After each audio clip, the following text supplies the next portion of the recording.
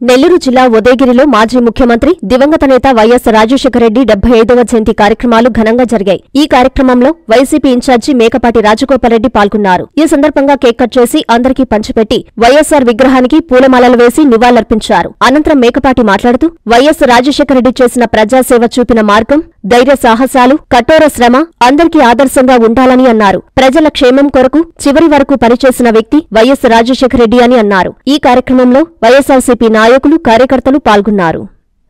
ఇక్కడికి వచ్చిన నియోజకవర్గ ప్రజలందరికీ పెద్దలందరికీ పేరు పేరున ధన్యవాదాలు. ఈరోజు స్వర్గీయ రాజశేఖర్ రెడ్డి డెబ్బై ఐదవ జన్మదిన శుభాకాంక్షలు ఆయనకు తెలియజేస్తూ మనం రాజశేఖర్ రెడ్డి గారు ఆయన ఎంత గుణవంతుడు అనే దాని గురించి ఆయన ఎంబీబీఎస్ కంప్లీట్ చేసిన తర్వాత ఒక్క రూపాయి వైద్యుడిగా అంటే ఒక్క రూపాయి ఫీజు తీసుకుంటూ ప్రజలకు సేవ చేసిన ముఖ్యమంత్రి జగన్ వైఎస్ రాజశేఖర రెడ్డి. రూపాయితోటే ఆయన స్టార్ట్ చేశాడు. అంటే ఆయన గుణం ఎంత గొప్పదో దాన్ని బట్టే తెలుస్తుంది.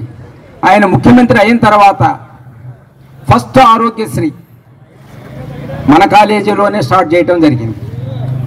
ఫస్ట్ ఆయన ముఖ్యమంత్రి అయిన వెంటనే మన ఇంజనీరింగ్ కాలేజీలోనే ఆయన ఆరోగ్యశ్రీ స్టార్ట్ చేయటం జరిగింది.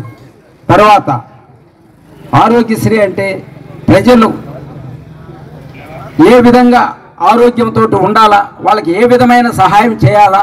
వాళ్ళని ఏ విధంగా కాపాడాలా అనుకునే ఉద్దేశంతో పెట్టిన పథకం ఆరోగ్యశ్రీ. తర్వాత రైతులను గురించి ఆలోచించాడు. రైతులకు ఉచిత విద్యుత్ ఇస్తే వాళ్ళకి ఏ బరువు లేకుండా వాళ్ళు పంటలు పండించుకుంటారు మంచిగా బాగుపడతారనే ఉద్దేశంతో ఉచిత విద్యుత్ మొదట స్టార్ట్ చేసింది వైఎస్ రాజశేఖర రెడ్డి. అంటే ఏదైనా సరే ప్రజలకి ఏ విధంగా ఉపయోగపడాలా ఏ విధంగా ఉపయోగపడితే వాళ్ళు బాగుపడతారు అనే విధంగా. నెక్స్ట్ ఫీజు రియంబర్స్మెంట్ ఫీజులు కట్టలేక కనీసం ఐదో తరగతి వరకు చదువుకున్న వాళ్ళు ఆరో తరగతికి పోవాలంటే మన దగ్గర డబ్బులు ఉండవు కదా ఎందుకు మనం మళ్ళా చదువుకోవటం అనే ఉద్దేశంతో ఆగిపోయే వాళ్ళు ఉన్నారు.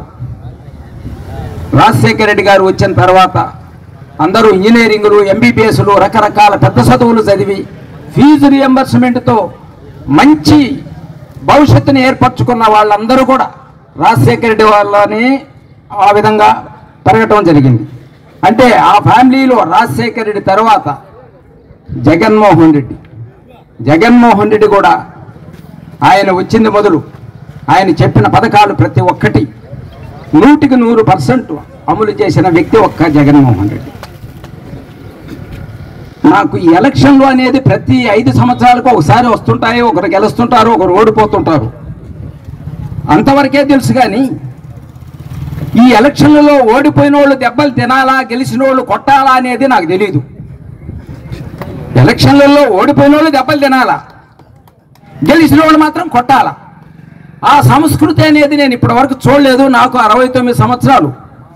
నేను రాజకీయాల గురించి డైరెక్ట్గా ముందుకు రాకపోయినా మా అన్నలు అప్పటి నుంచి చూస్తుండా గెలిచినోడు కొట్టడము ఓడిపోయినోడు దెబ్బలు తినడం అనేది నేను చూడలే ఇప్పటివరకు. అది ఇప్పుడే చూస్తున్నాను. ఇది సరైన సంస్కృతి కాదు.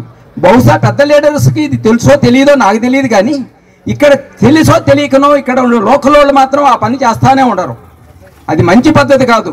ఖచ్చితంగా సరైన పద్ధతిలో మానుకోని పద్ధతిగా ఉంటే పర్వాలేదు కానీ అంటే గెలిచిన వాళ్ళు వంద మంది వంద పర్సెంట్ ఓడిపోయినోడు వన్ పర్సెంట్ అని ఆ ఫీలింగ్ ఏమన్నా ఉందేమో కానీ ఎంత అయినా కూడా ఏ ఫీలింగ్ ఉన్నా సరే యువతల వాళ్ళు మాత్రం ఏ మాత్రం దగ్గరు.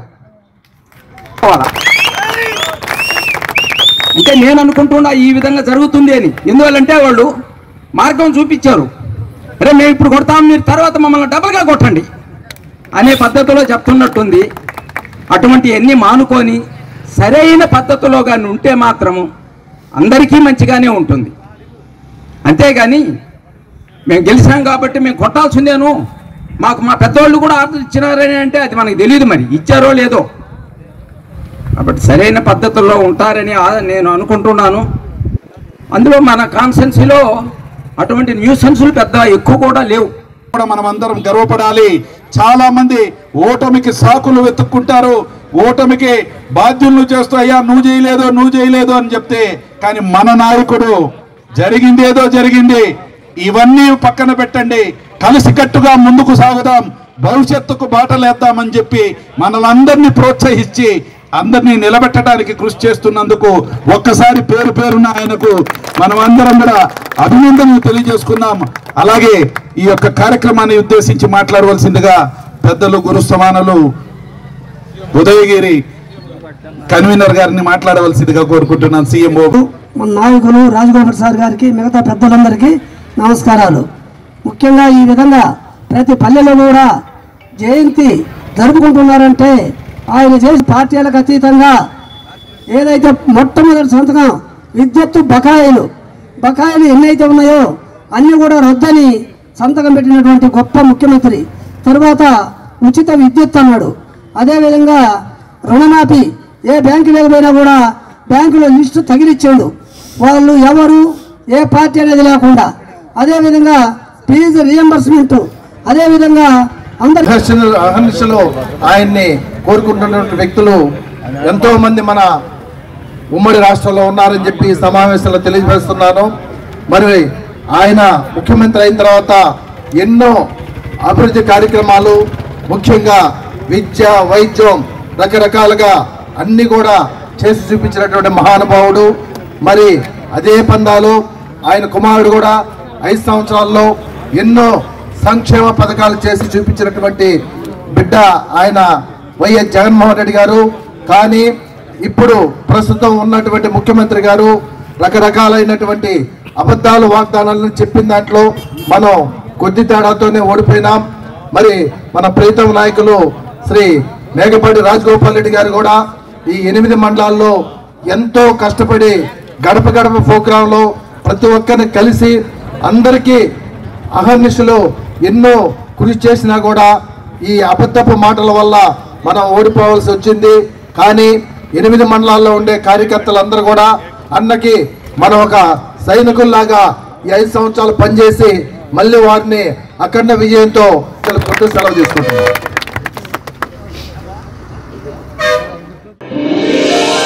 కళ్యాణ తిలకం సిఎంఆర్ షాపింగ్ మాల్ మరియు చందన బ్రదర్స్ పట్టు వస్త్రాలతో పెళ్ళి పట్టు చీరల exclusive range. Kanjeevaram designer sarees Kanchi digital sarees అలంకారీ పట్టు sarees pen Kalamkari sarees Dharmavaram tissue sarees digital పట్టు sarees Kanchi ikat sarees pure zari kota sarees Benaras Katan sarees fancy sarees high fancy sarees chudidars ghagras lehengas dress materials western wear సరికొత్త collections లభించును. అన్ని మిల్లుల suiting suitings వరుడు designer suits మరియు sherwanis exclusive ప్రత్యేక విభాగంలో. CMR shopping mall మరియు Chandana brothers trunk road Nellore.